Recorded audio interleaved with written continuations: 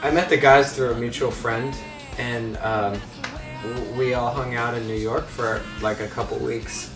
Did a show at this place, Mercury Lounge, and we just we just connected.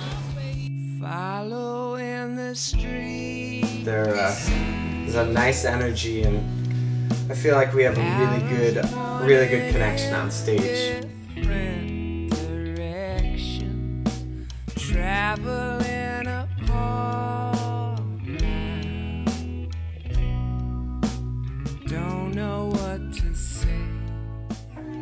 Tough love, tough love.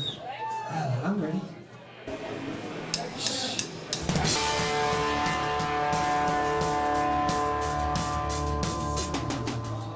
Stella's an awesome drummer.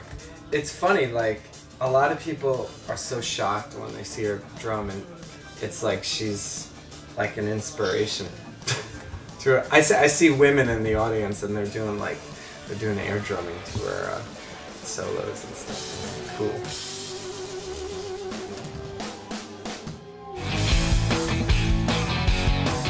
Like a bullet in a gun.